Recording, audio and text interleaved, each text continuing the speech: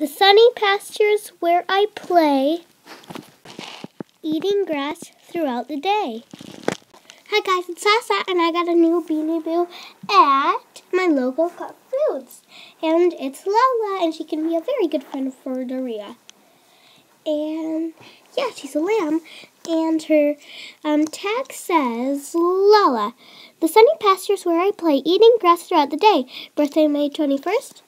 And her tush tag says 2015. So, yeah,